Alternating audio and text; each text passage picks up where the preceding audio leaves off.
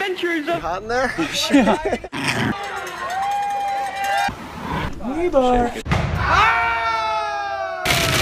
Gas guzzling. Things are going pretty good.